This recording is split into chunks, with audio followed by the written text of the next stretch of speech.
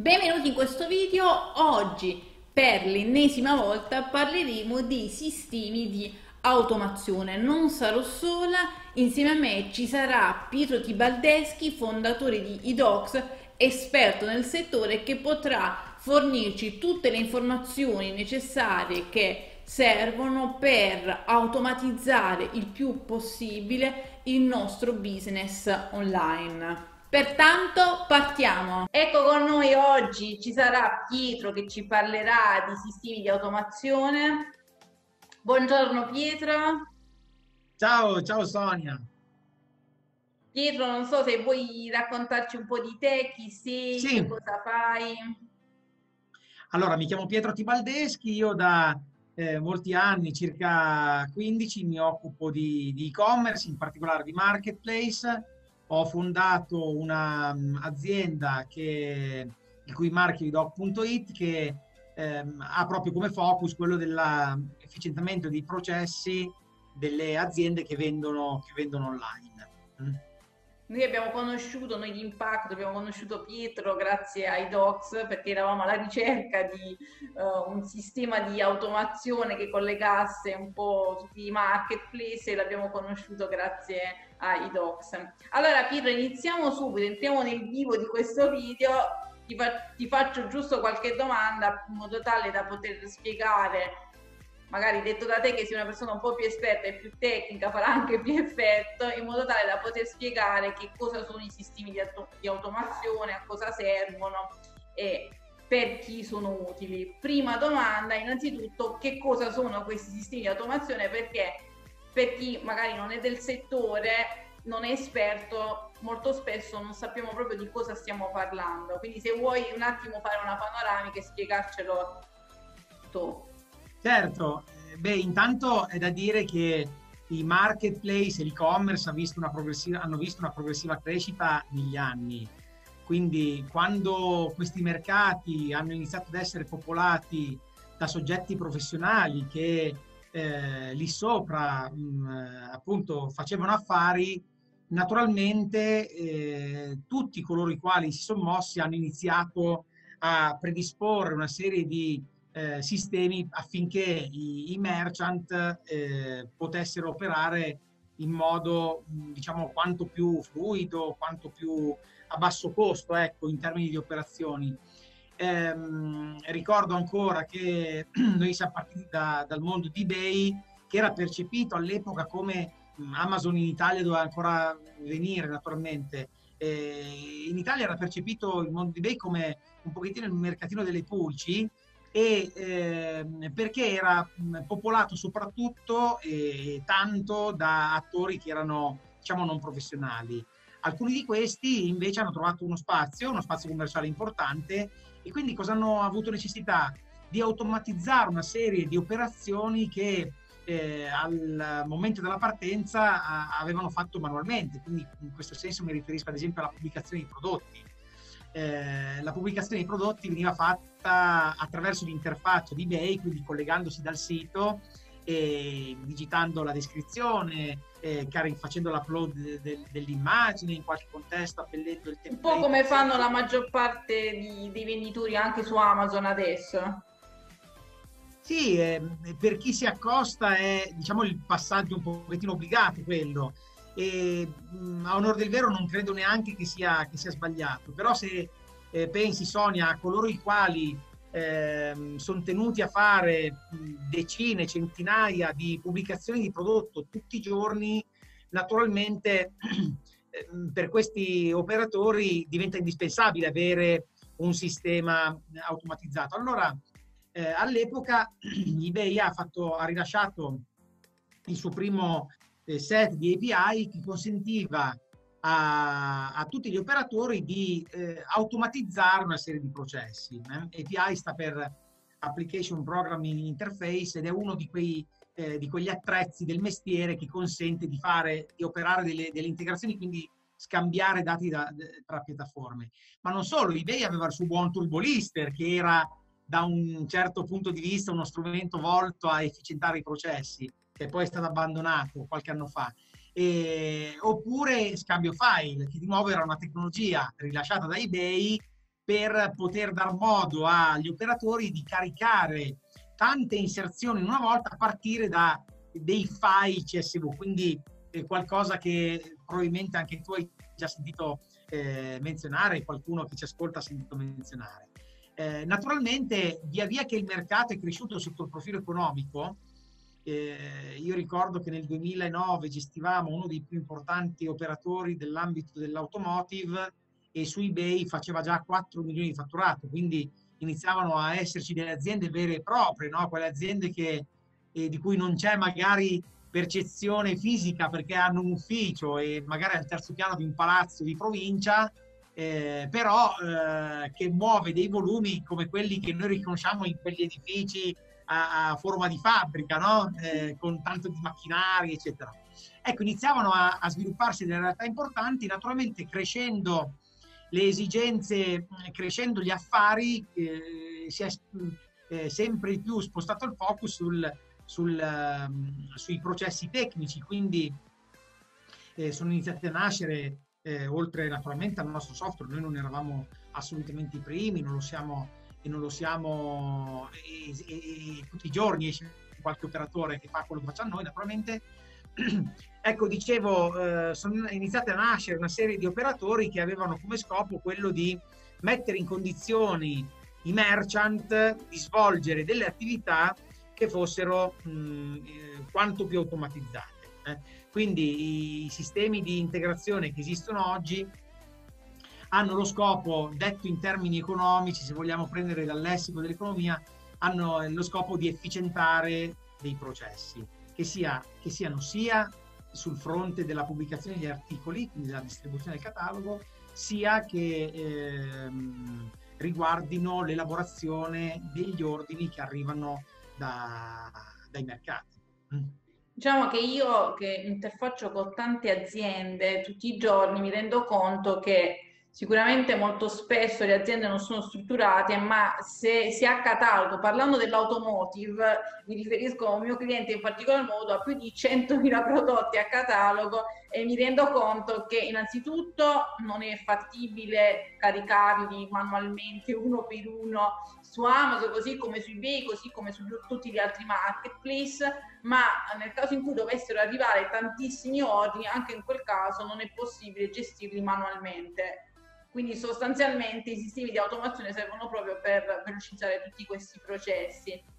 Ci vuoi dire Pietro quali sono questi strumenti, cosa fanno eh, praticamente e quali sono appunto? Beh, allora mi sento diciamo di annoverare come minimo tre ambiti. Il primo che è eh, particolarmente noto eh, perché eh, diciamo è, è, strettamente correlato alla nascita e allo sviluppo dei motori di e-commerce open source come Magento, PrestaShop, WooCommerce e così via, ehm, sono quelli che vengono detti plugin. Quindi lì il, diciamo, il bisogno che viene servito è il, l'utente ha un, un'installazione eh, di, del suo sito e-commerce, ad esempio fatta con Magento, e da lì viene l'esigenza di prendere il catalogo che è disponibile sul sito per poterlo distribuire ad esempio su Amazon o su eBay. Mm? Um, essendo questi motori di e-commerce particolarmente diffusi e mh, mm, troppo sovente secondo me vengono diffusi con quella diciamo escamotage tale per cui open source è uguale gratis quando non è così in realtà e, e facendo una divulgazione che va nella direzione sbagliata nel mio modo di vedere. Ehm, ad ogni modo, essendo molto diffusi questi motori di e-commerce, naturalmente eh, tutto, tutti gli ecosistemi correlati sono diffusi e quindi i plugin per, per popolare i mercati sono, sono eh, noti, altrettanto noti. Alcuni eh, più noti, come mi, viene in mente M2 Pro eh, per Magento, e altri magari meno noti. Um, questo, questo, è il primissimo. Poi ci sono dei middleware, come può essere quello di Doc, che sono sostanzialmente dei, ehm, chi più chi meno, poi dipende dall'architettura, dei soggetti che si pongono in mezzo tra... Io li chiamo connettori, tutti... forse sbagliando, ma di solito li chiamo perché connettono diciamo, il sito no, allora, con... Sì, sì, sì, esatto. Allora, la vera notizia è che non si sbaglia perché in realtà questo lessico non si è ancora veramente sedimentato. C'è chi li chiama connettori, chi li chiama gestionali, chi li chiama middleware, ehm, chi li chiama eh, semplicemente software di prevendita di post vendita. Insomma, non c'è un lessico okay. davvero eh, che si è consolidato. Eh, connettori rende, diciamo, rende bene l'idea. Ad ogni modo, mh, sono software che si frappongono tra i, tutti i front-end e quindi tutti i soggetti che sono deputati alla vendita del, del catalogo, che sono pronti ad, ad, acquisire il catalogo e eh, naturalmente tutto quello che viene prima e quindi in, cer- in certe circostanze, che ne so, il gestionale aziendale eh, può essere eh, delle, eh, dei tasselli che viene, che viene prima. Nel nostro caso, a nostra volta, noi mettiamo eh, questo, questo, tassello, si, cost- si, costituisce di API, eh, quindi di mh, mm, uno strato di, eh, come dire, mh, mm, eh, uno strato tecnico che può essere impiegato anche al di là dell'uso delle interfacce. Eh? Cos'è che vuol dire? Che alcuni nostri clienti impiegano il software di fatto senza fare mai accesso eh, al pannello. Eh? Ehm, mentre esistono altri software che, che, che, preve, che non prevedono questa, questa, possibilità o altri che la prevedono magari addirittura ehm, resa più performante, ancora più, più come dire, più ricca nelle funzioni. Tieni presente che alcuni di questi eh, connettori sono diventati delle multinazionali tutte in borsa, no? l'antesignana c'era l'Advisor che ha fatto un po' quella, quella, quella strada. Ehm, ecco, la terza, diciamo, il terzo gruppo in cui mi sento di raggruppare questo genere di, eh, di attrezzi viene dagli stessi marketplace e quindi tutti i set di API che gli stessi marketplace mettono a disposizione. Quindi ciascuna realtà, ed esistono naturalmente, che abbia il desiderio di integrare direttamente la sua applicazione, il suo software, il suo motore di commerce, il suo gestionale, ehm, il suo ERP, a, ad esempio ad Amazon, può fare richiesta, accedere alle API e quindi da lì in avanti provvedere alla, all'integrazione. Naturalmente, diciamo, tre, i tre gruppi prevedono ehm, scenari mh, più o meno sofisticati e eh, competenze che devono essere messe in campo che sono eh, più o meno, diciamo, evolute naturalmente. Quindi se lo scopo è quello banalmente di raccogliere un ordine, allora tutto sommato può essere un'operazione mh, abbastanza facile per un diciamo, laureando in ingegneria informatica da fare. Eh, se invece lo scopo è quello di mh, mm, raccogliere un ordine, vedere accadere delle altre cose che a, a loro volta ne innescano eh, delle altre ancora, quindi ma- moltiplicando e complicando lo scenario, ecco, eh, naturalmente si complicano e devono diventare sempre più specialistiche le competenze di chi, di chi mette le mani. Eh, come diciamo sempre... Che bisogna avvalersi di specialisti per poter installare questi software, perché altrimenti sarebbe impossibile, almeno per me è impossibile. sì, dipende esatto dal, dagli scenari che vanno messi in opera. Questo io lo dico, Sonia, perché in qualche contesto mi sono sentito dire oh, ma come i doc costa così tanto, no? E il plugin tal dei tali costa poco. Eh, oppure mh, a parti, diciamo, eh, a posizioni invertite accade il contrario. E, ehm, ecco, il motivo, un motivo c'è sempre. Le aziende conoscono, tendenzialmente conoscono il proprio mercato e quindi eh, se un'applicazione come può essere Channel Advisor eh, ha dei costi è perché quei costi sono giustificati da uno sforzo, altrimenti l'obiettivo di ciascuno sarebbe quello di avere più clienti e e naturalmente eh, abbattere ogni barriera d'ingresso, una su tutte quella del prezzo naturalmente, però se chi, eh, diciamo, chi decide di andare a mercato con un certo prezzo lo fa perché è evidente eh, che ha o dei costi correlati o che offre un servizio che è il corrispettivo di quello che, che, gli, viene, che gli, viene, chiesto, insomma. Eh. Allora Pietro, volevo chiederti, ultima domanda, questi software, questi connettori, qualsiasi, eh, tutti questi strumenti sono indicati per tutte le aziende, ci sono dei clienti mh, più targetizzati, nel senso che è più indicato per alcune aziende rispetto ad altre, quali sono i pro e i contro di questi strumenti? Sì, indubbiamente eh, esiste una audience di riferimento. Nel nostro specifico caso vale un principio di buonsenso generale eh, che è il seguente. Quando tu hai messo in piedi qualcosa che funziona, allora ha senso automatizzarlo. Eh, se non hai ancora messo in piedi niente, mh, mm, bisognerebbe capire come mai hai il desiderio di automatizzarlo. Ecco, automatizzare qualcosa che non è ancora in opera eh, lascerebbe pensare che è un vezzo di chi voglia, voglia farlo più che una completa esigenza. Quindi mh, nel nostro caso noi vediamo che riusciamo a, a, lavorare bene con quelle aziende che hanno già avviato per esempio un certo flusso di ricavi, quindi che hanno dei processi che sono da efficientare per tutti coloro i quali sono all'inizio, noi abbiamo verificato che l'esperienza di automatizzare eh, prevede dei prerequisiti eh, necessariamente ehm, che hanno a che fare soprattutto con i marketplace. E cioè se eh, tu hai un sito e-commerce e hai il desiderio di iniziare a vendere su Amazon, anche il plugin può esserti di poco aiuto. Perché? Eh, perché il tuo ostacolo potrebbe presentarsi all'apertura dell'account di Amazon, banalmente. Come tu sai, in qualche caso anche l'apertura dell'account può essere un'operazione. Diciamo che tutto... ci sono stati dei periodi in cui era diventata l'operazione più difficile da fare perché Amazon su questo bloccava tutti gli account, quindi effettivamente, soprattutto Tempo, fino a poco tempo fa aprire l'account su Amazon era diventato un privilegio. Adesso forse Amazon si è reso conto e ha cercato di uh, facilitare un attimo l'operazione, però effettivamente è così. E poi eh, quello può essere il primo ostacolo, ma il primo di una lunga serie. In alcune circostanze ci può essere la, il popolamento di una certa categoria che magari è una categoria peculiare, non so, mi vengono in mente gli alcolici che richiedono una, un'autorizzazione o eh, materiali che hanno a che fare col, eh, col benessere, con la salute, eh, vedi gli integratori, le, i farmaci e così via.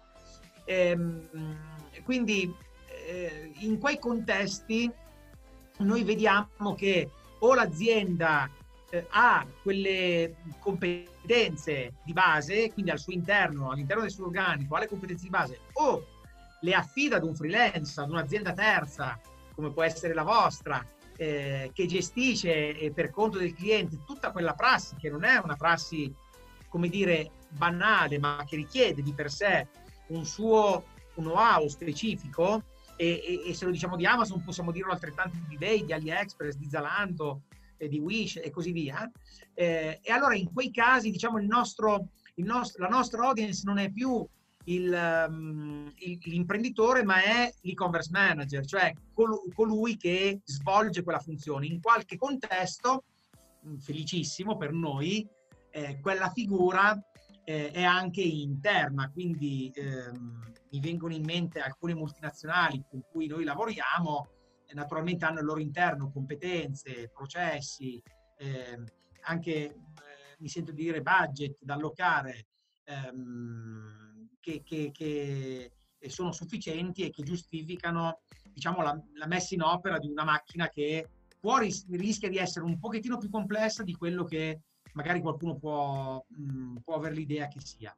Quindi diciamo che il tuo consiglio è avviare il business che può essere su Amazon, sui vari marketplace, magari anche manualmente per richiedere le autorizzazioni, per caricare i prodotti, eh, creare tutti i contenuti e poi automatizzare i processi. Questo da quello che ho capito. Sì, sì naturalmente eh, sì, quello che dico io è questo. Poi naturalmente questa, diciamo, questa affermazione andrebbe contestualizzata. Allora, eh, se tu sei la Fiat, faccio per ipotesi, che ha processi, personale e che coglie nella distribuzione del catalogo un'operazione che sarebbe frustrante da fare manualmente, allora quella cosa la automatizzi. Però appunto il progetto parte ehm, con una, per così dire, un'organizzazione dei presupposti che giustificano quel, quel, quello sforzo. In, altri, in tanti altri contesti mi eh, viene sempre da ricordare che il 97% delle aziende in Italia ha meno di 10 dipendenti, no? quindi tendenzialmente le aziende in Italia sono piccole. Ecco, in tanti altri contesti il fatto di dire parto automatizzando, facendo un, un progetto tecnico che è, mm, eh, che è, articolato può non essere la scelta giusta, ma eh, può essere invece la scelta giusta quella di dire, eh, come appunto riassumevi giustamente tu, inizia a fare vendite, inizia ad avere i soldi, allora quei soldi in qualche modo eh, danno anche lo, diciamo, lo sprone giusto all'imprenditore di, di voler mettere attenzione, quindi eh, mettere budget e, e, e, prevedere una serie di attrezzi tecnici che eh, rischiano di essere un pochettino più sofisticati del previsto. Poi naturalmente Sonia il punto è che bisogna contestualizzare queste affermazioni, però in linea di, di principio come regola generale a mio modo di vedere è giusta. Ok, allora io ti ringrazio Pietro per aver partecipato a questo video, per averci fornito queste informazioni perché il parere di una persona esperta, tecnica nel settore per me è indispensabile. Ovviamente, il mio parere personale, collaborare con te è sempre un piacere e spero che eh, parteciperai anche ad altri video per approfondire questo argomento. Ma certo, il piacere è tutto mio e la disponibilità come sempre è massima. Eh? Grazie Pietro.